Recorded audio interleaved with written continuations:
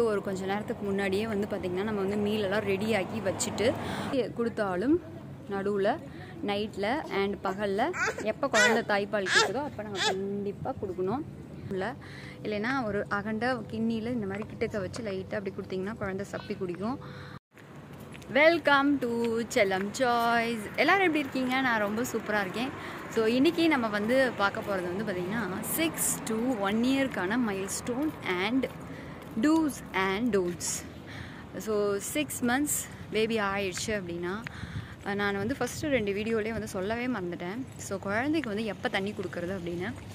And generally வந்து பார்த்திங்கன்னா இப்போ தான் அதாவது கொஞ்சம் ஒரு அஞ்சாறு கா வருஷ காலமாக தான் இல்லை இல்லை ஒரு எயிட் இயர்ஸாகவே வந்து பார்த்திங்கன்னா குழந்தைக்கு வந்து தண்ணி கொடுக்கக்கூடாதுன்னு சொல்கிறாங்க ஸோ அது வந்து பார்த்திங்கன்னா நம்ம கண்டிப்பாக கொடுக்கணும்.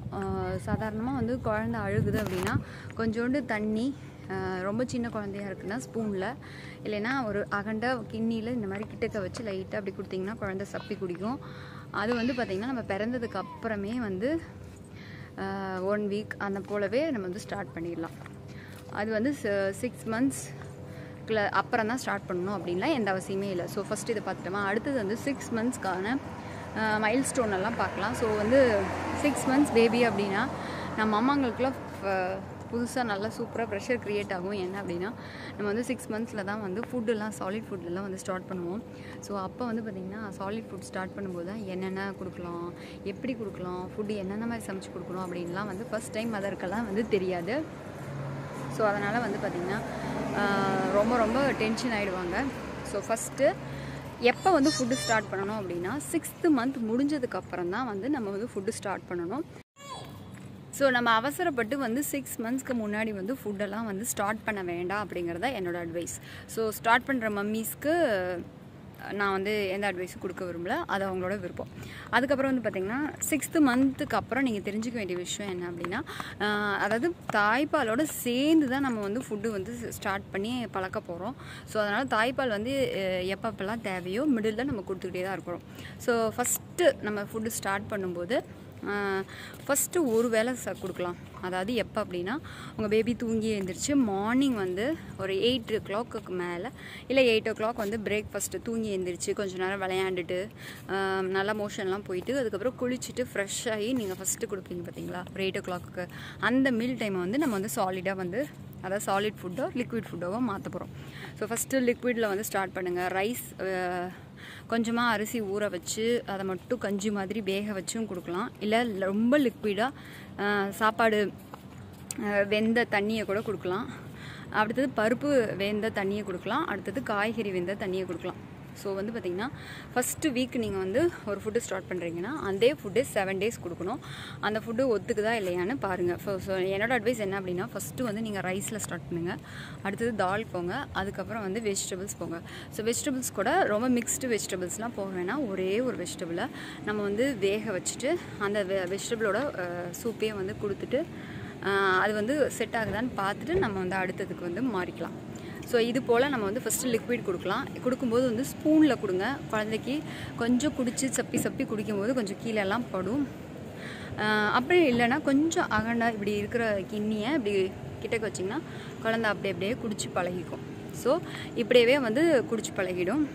சரி நாங்கள்லாம் பார்த்தீங்கன்னா எங்கள் பாப்பாக்கெலாம் நாங்கள் வந்து ஒரு ஃபிஃப்த்து மந்த் இருக்கும்போதே தண்ணியெலாம் டம்ளர்லேயே குடிக்க பழக்கிட்டோம் ஸோ அப்போ என்ன ஆகும் அப்படின்னா குழந்தைக்கு லிக்விட் ஃபுட்டு எடுத்துக்கும் போது ரொம்ப ரொம்ப ஈஸியாகவும் இருந்துச்சு. ஸோ இதெல்லாம் வந்து பார்த்திங்க அப்படின்னா நம்ம வந்து ஃபஸ்ட் டைம் ப்ராக்டிஸ் பண்ணி லிக்விட்லாம் ப்ராக்டிஸ் பண்ணதுக்கப்புறம் ஆல்மோஸ்ட் ஒரு டூ த்ரீ வீக்ஸ் அந்த மாதிரிலாம் ஆகிடும் ஸோ அதுக்கப்புறம் வந்து சாலிட் கொடுங்க. சாலிட் வந்து ஃபஸ்ட்டு நம்ம எந்த மாதிரி ஸ்டார்ட் பண்ணலாம் அப்படின்னா சில குழந்தைங்களுக்கு வந்து பார்த்திங்கன்னா இந்த பியூரி அப்படின்னு சொல்லுவாங்க. அதாவது வெ வெஜிடபிள்ஸோ ஃப்ரூட்ஸோ வேக வச்சு அதை ஆ?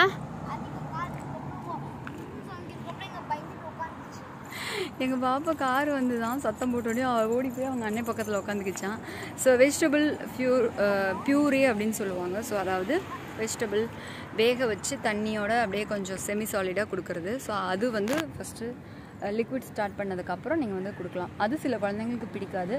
அது பிடிக்கல அப்படின்னா பொங்கல் மாதிரி ரைஸை நல்லா குழைய வச்சு வேக வச்சு மத்து போட்டு நல்லா கடைஞ்சி கிட்டத்தட்ட வந்து பொங்கலே வந்து பார்த்திங்கன்னா இன்னும் கொஞ்சம் திக்னஸ் கம்மியாக கொஞ்சம் வாயில் வச்சோன்னே அப்படின்னு சப்பி சாப்பிட்ற மாதிரி இருக்கிற மாதிரி பார்த்துக்கோங்க ஸோ சாலிட் வந்து நீங்கள் லிக்விட் கொடுத்து முடிச்சோடனே வந்து சாலிட் அப்படியே ஸ்டார்ட் பண்ணிடலாம். சிக்ஸ்த் செவன்த் மந்த் அதாவது சிக்ஸ்த் மந்த் முடிஞ்சு செவன்த் மந்த் ஸ்டார்ட் ஆகும்போதே. ஸோ இதுதான் வந்து பார்த்திங்கன்னா நம்ம ஃபுட்டுக்கான கைட்லைன்ஸ் அதுக்கப்புறம் வந்து பார்த்திங்கன்னா குழந்தைக்கு சிக்ஸ் மந்த்ஸ் ஆனதுக்கப்புறம் குப்புறப்படுத்து நெஞ்சில் ந நல்லா வ- படுத்துக்கிட்டு விளையாடுவாங்க.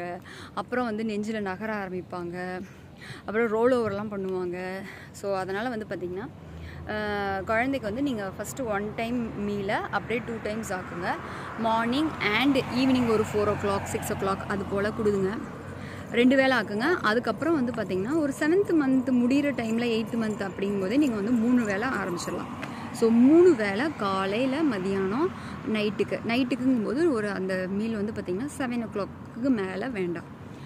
அதுக்கப்புறம் வந்து இதெல்லாம் பழக்கப்படுத்தினதுக்கப்புறம் நம்ம வந்து கொடுக்க போகிறது வந்து ஃப்ரூட்ஸ் ஃப்ரூட்ஸ் எல்லாம் வந்து பார்த்தீங்க அப்படின்னா ஃபஸ்ட்டு பனானா ஸ்டார்ட் பண்ணுங்கள் எந்தெந்த ஃப்ரூட்லாம் வந்து ரொம்ப சாஃப்டாக கடித்து சப்பி சாப்பிடவே தேவையில்லையோ அந்த ஃப்ரூட்ஸ்லாம் நீங்கள் சாப்பிடுங்க. பனானா கொய்யாப்பழம் சப்போட்டா பழம் அந்த மாதிரி ஒன்று ஒன்றா பழக்குங்க. ஸோ சில சில குழந்தைங்களுக்கு வந்து பார்த்திங்கன்னா அந்த டேஸ்ட் ரொம்ப பிடிச்சி போய் ரொம்ப ஃபாஸ்ட்டாகவே ஃப்ரூட்ஸ்லாம் வந்து எடுத்துப்பாங்க. அப்புறம் வந்து ஜூஸு ஸோ அதுக்கப்புறம் வந்து நீங்கள் வந்து குழந்தைக்கு ஜூஸ் எல்லாம் கொடுக்க ஆரம்பிக்கலாம். ஸோ இதில் வந்து நீங்கள் தெரிஞ்சுக்க வேண்டிய விஷயம் என்ன அப்படின்னா குழந்த நல்லா ஹங்க்ரியாக இருக்கிற டைமில் தான் நீங்கள் வந்து மீல் கொடுக்கணும். அது பாலெல்லாம் குடிச்சிட்டு பாதி வயிறு பசி சரியாக இல்லாத டைமில் மீல் கொடுத்துட்டு அதுக்கப்புறம் என் குழந்தை வந்து மீல் சாப்பிட மாட்டேங்குது. மீல் சாப்பிட ரொம்ப சிரமப்படுது அப்படின்லாம் வந்து நம்ம சொல்லக்கூடாது. நீங்கள் ஹண்ட்ரட் பர்சன்ட் வந்து உங்கள் பேபி வந்து மீல் மீல் டைமில் வந்து ஹங்க்ரியாக இருக்கா அப்படிங்கிறத கன்ஃபார்ம் பண்ணிக்கிட்டு மீல் கொடுங்க.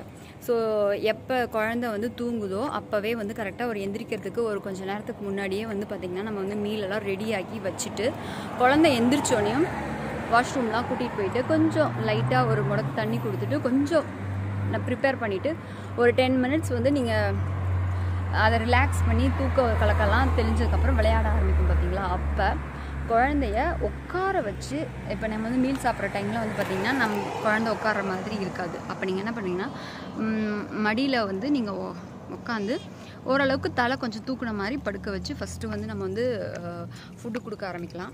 அதுக்கப்புறம் கொஞ்சம் கொஞ்சமாக மாறும்போது மாறும்போது நம்ம வந்து மடியில் வந்து சமணங்கால் போட்டு உக்காந்து நடுவில் நம்ம கால் இடுக்கில் வந்து பாப்பா குழந்தைய உட்கார வச்சு அப்படி அப்படியே கொஞ்சம் கொஞ்சம் கொடுக்கலாம். ஸோ இப்படி தான் வந்து நம்ம வந்து சாப்பிட வந்து பழக்கலாம்.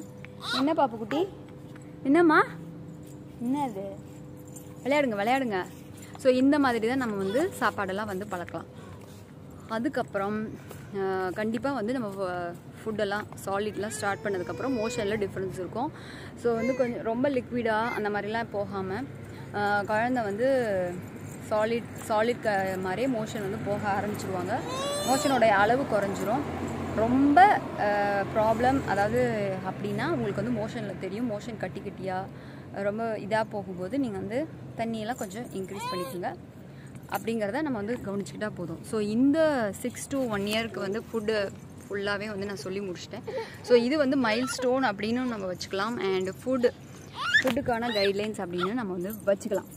ஸோ அதுக்கப்புறம் நிறைய சேஞ்சஸ்லாம் வந்து நம்ம மைல் ஸ்டோன்லாம் வந்து சிக்ஸ் டூ ஒன் இயரில் தான் பார்ப்போம். ஸோ குழந்த குப்புறப்படுத்து நெஞ்சில் நவுந்து அதுக்கப்புறம் பிடிச்சி எந்திரிச்சு உட்காந்து அதுக்கப்புறம் பிடிச்சு அப்படியே நாலு காலில் நடந்து அப்புறம் ரெண்டு காலில் நடப்பாங்க. ஸோ எல்லாத்தையும் வந்து அந்தந்த டைமுக்கு குழந்த கரெக்டாக அந்தந்த டைமில் எல்லாமே பண்ணிடுவாங்க ஸோ எந்த டென்ஷனும் வேணாம்.